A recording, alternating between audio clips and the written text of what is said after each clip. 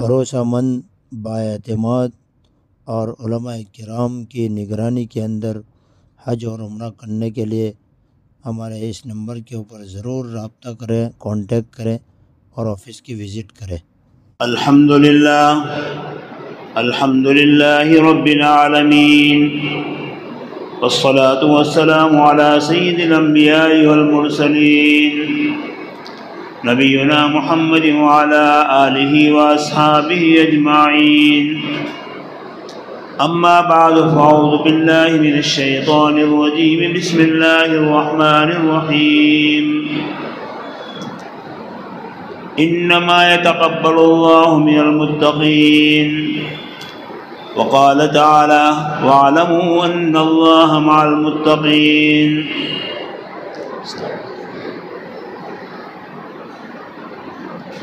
बुजुर्गान मोहतरम और अज़ीज़ दोस्तों भाई पीछे बैठो उसके बजाय आगे आ जाओ, मजलिस बन जाएगा जिसने मजलिस से करीब होंगे, इतनी रहमतें के ज़्यादा फ़ायदा होगा। पीछे वाले आगे आ जाओ।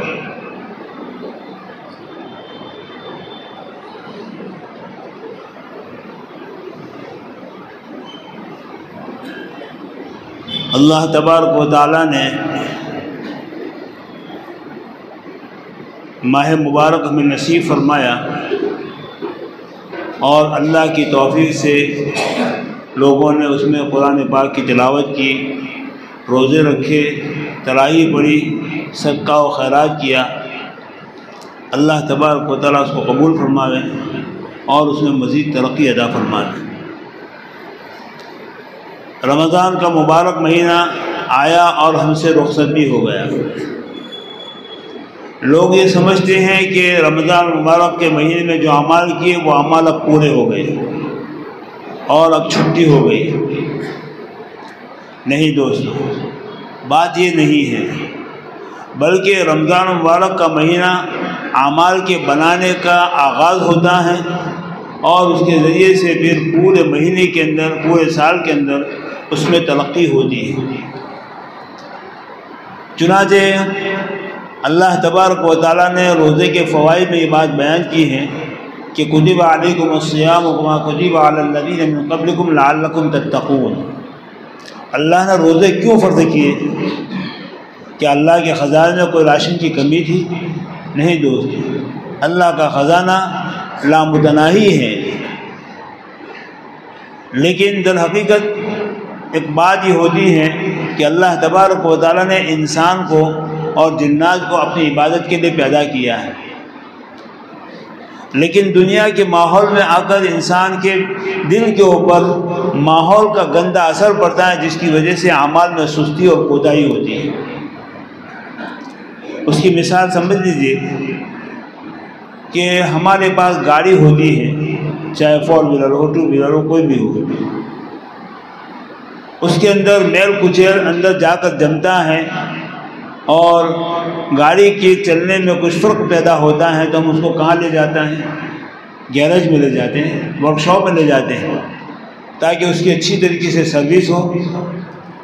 और गाड़ी जो है मुकम्मल तौर पर तैयार होकर चलने के काबिल हो जाए।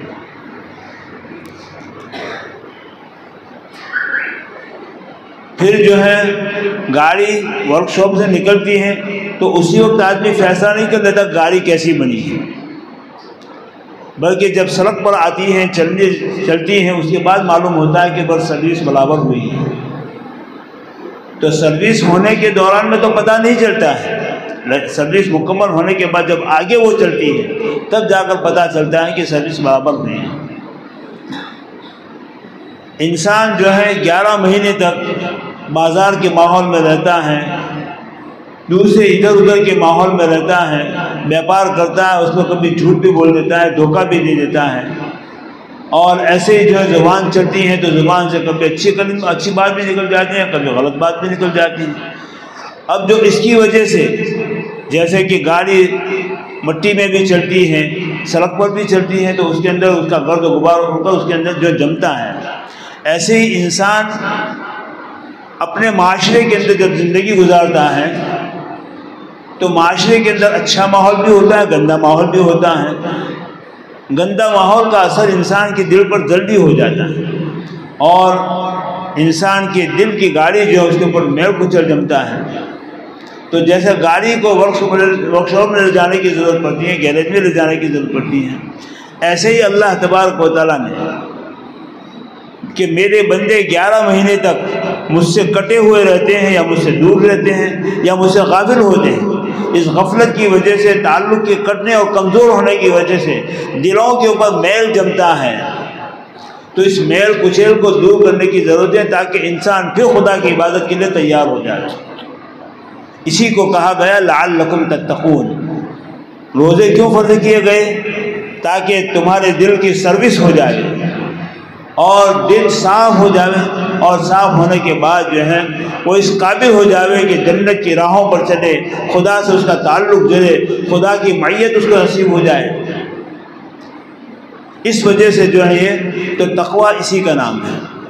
अब जो है, जैसे दोस्तों, गैरेज में गाड़ी होती है, पता चलती नहीं कि उसकी सर्विस अच्छी हुई या नहीं। हुई हम 11 महीने तक गफलत के माहौल में रहते हैं हमारी ज़ुबानों से ऐसी ऐसी बातें निकलती हैं जिसकी वजह से दिलों पर मेल जमता है। तो अल्लाह तबार, अल्लाह तबारक वाली ने हमारे दिलों की सर्विस के लिए और उसको एक वर्कशॉप में दाखिल किया, यानी रोज़े फ़र्ज़ किए। रोज़े की वजह से क्या होता है? इंसान जो है, बहुत से ऐसे होते हैं कि और दिनों के अंदर बहुत से गुनाह कर लेते हैं, लेकिन रोज़े की हालत में बहुत गुनाहों में कमज़ोरी आ जाती है। रोज़े जो है गुनाहों में कमज़ोरी आ जाती है। अब अल्लाह तबारक कहा कि भाई जो ग्यारह महीने के तुम अपनी मशगूली में रहे, हमसे गाफिल रहे। हालाँकि मैंने तुमको पैदा किया है अपनी इबादत के लिए। और अल्लाह तबारक वाली ये चाहते नहीं कि मेरे बंदे गुनाह करके मेरी सज़ाओं का मुस्तक हो जाए। बल्कि अल्लाह ये चाहता है कि मेरा हर बंदा जन्नत में दाखिल हो जाए। और अल्लाह ताला अपने बंदों को आज़ाब देना नहीं चाहता है। इन शक्ल तुम आमन तुम वकान अल्लाह शाकिर अल्लाह तुमको आज़ाब देकर क्या करेगा? अगर तुम अल्लाह की नामतों पर शुक्र करो और अल्लाह के ऊपर यकीन और ईमान रखो तो अल्लाह तुमको आज़ाब देकर क्या करेगा? अल्लाह आज़ाब देना चाहता नहीं। है अब जब इंसान का दिल मेला होता है, अल्लाह की ज़ात के साथ ताल्लुक़ करता है तो उसकी वजह से वो गुनाह में तरक्की करता है, गुनाह में आगे बढ़ जाता है। अल्लाह तबारक चाहते हैं कि मेरे बंदे गुनाह में रुक जाए और रोक हो जाए और उसके दिल की सर्विस हो जाए। इसी दिल की सर्विस के लिए अल्लाह तबारक ने हमारे लिए रोज़े फ़र्ज़ किए। रोज़े की वजह से क्या होता है? रोज़े का सबसे बड़ा फ़ायदा ये होता है कि इंसान के अंदर तकवा होता है। अब तकवा का नाम समझकर तो बहुत से लोग भड़क जाते हैं भाई मुतकी बनना हमारा काम नहीं है। हर मोमिन है और हर मोमिन बन सकता है, उसके तकवे में तरक्की होती है। तकवा जो है, कोई करने का नाम नहीं है, तकवा छोड़ने का नाम है। तकवा छोड़ने का नाम है। करने का नाम नेकी है। कुरान पाक में दोनों फजलत हैं बिर और तकवा। बिर जो है, करने का नाम है।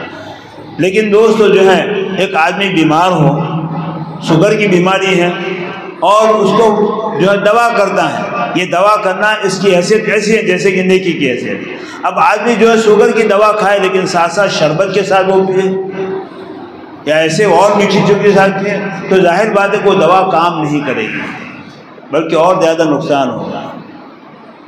ऐसे ही बंदा जो है नेकी करता है, नेक अमाल करता है, लेकिन गुनाहों से नहीं बचता है तो उसकी उसकी गुनाह जो है, उसकी नेकियों को खा जाती है।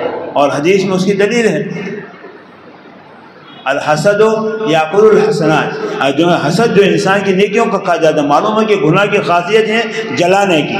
तो गुनाह जो है वो इंसान के गुनाहों को, इंसान के नेक अमल को जला देती है। इस वजह से अल्लाह तबारक चाहते हैं कि मेरे बंदे मुझसे कुछ कटे हैं ग्यारह महीने इसे ऐसे बाजारी माहौल, दूसरे माहौल में रहकर जो लाओ मैं अपने बंदों की, दिनों की सर्विस कर दूँ, ताकि मेरे बंदे मेरी जन्नत के मुस्तक हो जाए कुरान पाक में ज़्यादातर जन्नत के, जन्नत की नियामतें और जन्नत के मिलने का ज़्यादातर वादा किया गया, वो मुतकी के लेके गया। ज़ाहिर बात है कि मोमिन मुतकी शिरक, कुफर से बचना भी तकवा है। लेकिन आला किस्म का तकवा क्या है? कि इंसान ज़ाहिर में हो या बातिन में हो, तन्हाई में हो, बाज़ार में हो। बाहर तो देखकर आदमी गुनाह से बचता है कि लोग मुझे देख रहे हैं। लेकिन ये जो है तकवा नहीं। तकवा तो यह है कि इंसान खुदा से डर कर गुनाह को छोड़ दे। उसकी मिसाल मैं बयान करूँ।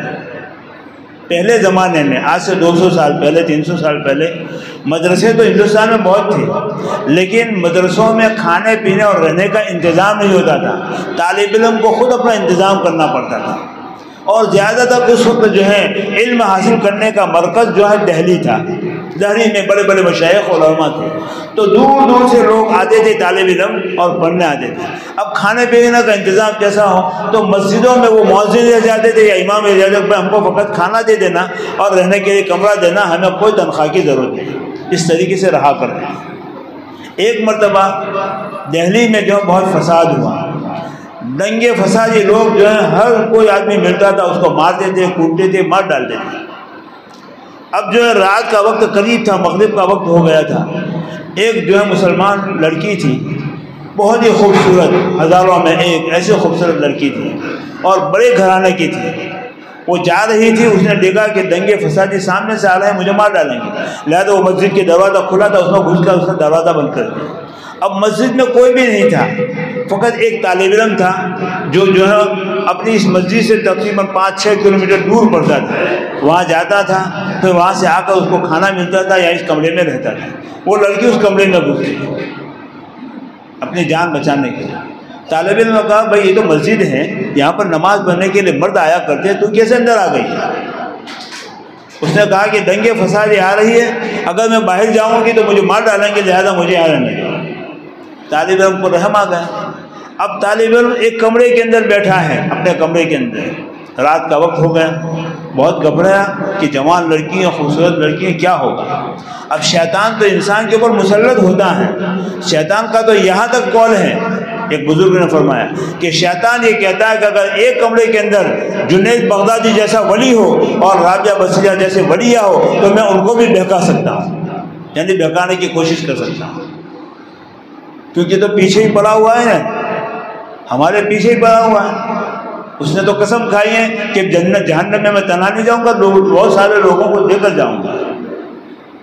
तो बहरहाल जो है वो तालब इलम एक कोने में बैठ गया। और लड़की को कहा कि कोने में बैठ गया लड़की के सामने देखा भी नहीं तालब इलम अब जो वो अपनी किताब का मुताला कर रहा है, उस ज़माने में लाइट थी नहीं, चिराग जलते थे, दिया जलता था। तो एक दिया जलाकर कुछ मुताला कर रहा था। और थोड़ी थोड़ी देर में वो दिए की आग के ऊपर उंगली रखता था, फिर खींच लेता था। वो लड़की देख रही है, पूरी रात उस लड़के ने ये, लड़के ने ये काम किया। अब सुबह हो गई तो सुबह होते ही जो है उसने कहा कि भाई, अब जाओ, सुबह हो गई, तुम निकल जाओ। कहा कि मैं तना हूँ, सुबह सोना का वक्त है, सड़कें खाली हैं, आप अगर मेरे घर पर मुझे छोड़ने के लिए आओ तो बहुत अच्छा। लेकिन जो है, उस लड़की ने एक बात कही कि पूरी रात तुमने मेरे सामने देखा नहीं, मैं भी जागती रही, तुम भी जागते रहे। और थोड़ी थोड़ी देर में तुम देह और उंगली रखते थे और खींच लेते थे। ये क्या माजरा था? उस तालब इलम ने कहा कि चलो, जो होना था वो हो गया, चलो तुम्हें घर छोड़ देता अब जो है, औरत के पीछे चलना भी फितना है। यहाँ तक कि उलमा ने लिखा है कि जहाँ औरत के कदम गए हो, अगर किसी का कदम पड़ गया तो शैतान उसमें भी गंदे वसाइल पैदा कर देता है। लेकिन उस तालब इलम में तकवा था, अल्लाह का डर था। पूरी रात तनहाई में निकल गई। जो सारे इसबाब बुराई करने के मौजूद थे, कोई देखने वाला नहीं था। मस्जिद अंदर से लॉक थी और जो उसका कमरा भी था, वहाँ पर भी जो कोई नहीं था। अगर वो बुराई करना चाहता तो उसके लिए रास्ता क्लियर था, साफ़ था। लेकिन तालब इलम ये हरकत कर रहा है। दिए पर उंगली रख रहा है खींच रहा है। इसी दौरान में वो लड़की जो है, लेकर जो लड़का आगे चल रहा है और लड़की पीछे चल रही है। अगर रास्ता मुड़ने का हो तो उसने लड़की से कह दिया था, तुम ताली बजा देना। आवाज़ मत करना, इसलिए कि तेरी आवाज़ भी पड़ रहा है। दोस्तों, तकवा इसका नाम चुना जो वो लड़की ने छोड़ा अपने घर पर तब ले गई। सुबह का वक्त था माँ बाप फ़िक्र में थे कि हमारी जवान लड़की, खूबसूरत लड़की बड़े बड़े रईसों और मालदारों के वहाँ से उसके पैगाम आते थे, लेकिन वो लड़की तैयार नहीं होती थी। चुनाचे घर में दाखिल होते ही वो लड़का चलने लगा तो उस लड़की ने अपने माँ बाप से कहा, पहले इस लड़के को रोक लो।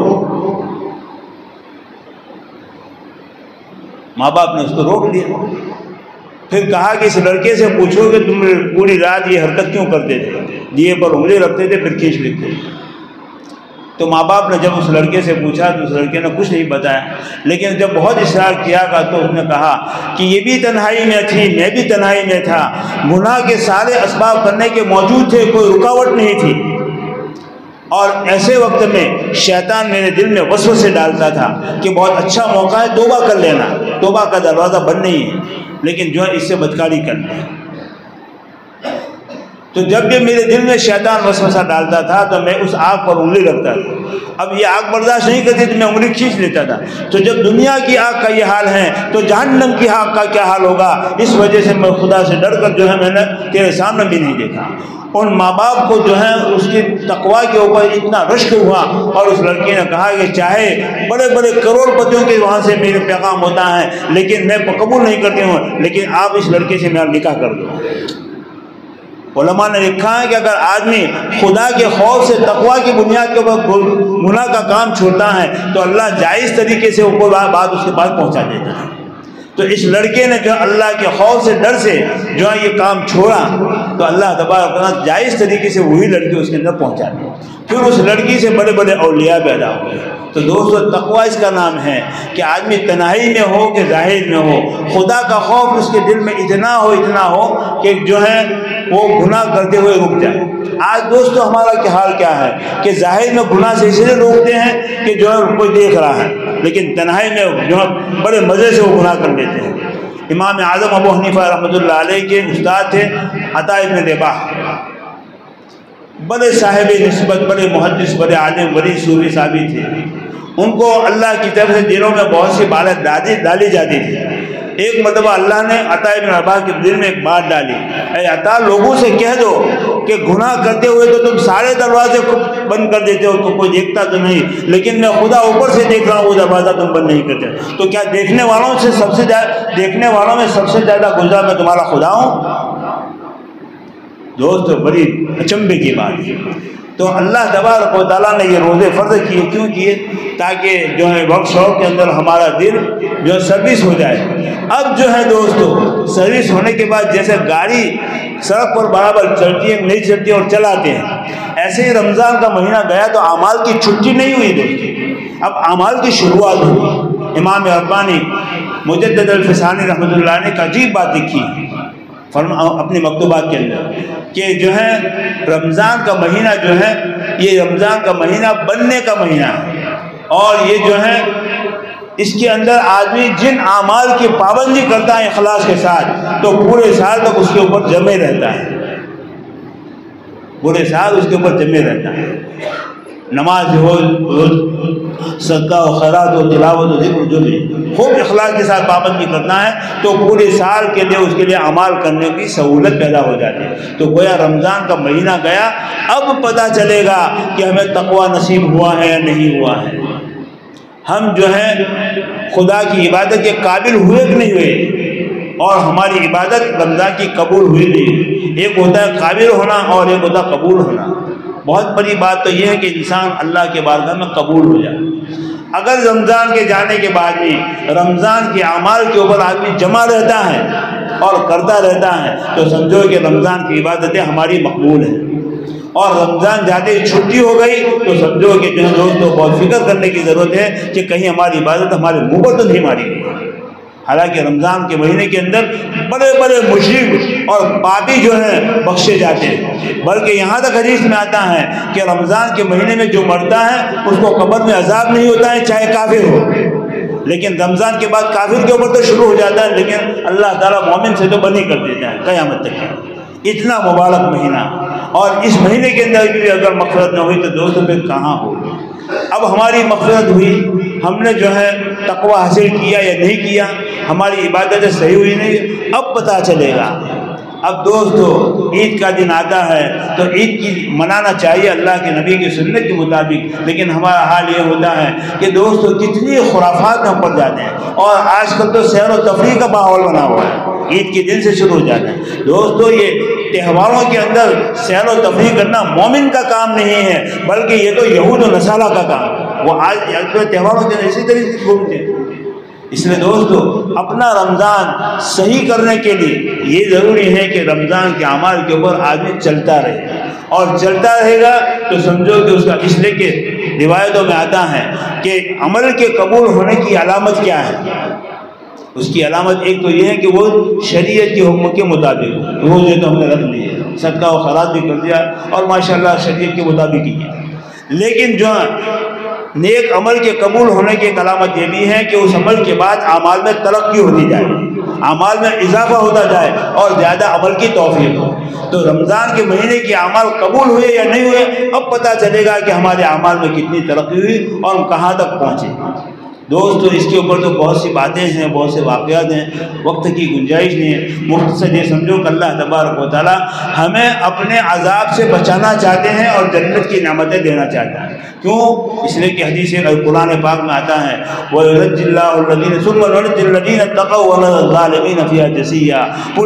के ऊपर से हरेक को गुजरना है, लेकिन जो है कोई गिरेगा, कोई कटेगा, लेकिन जो तकवा वाला होगा, जिसने अल्लाह से डर कर गुना छोड़ा होगा, वो गिरेगा नहीं, बल्कि आनंद फानंद गुजर जाएगा।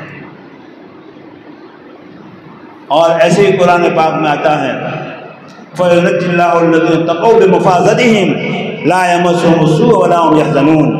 कि अल्लाह ताला तकवा वालों को जो है, नजात दे देगा, हमेशा के लिए।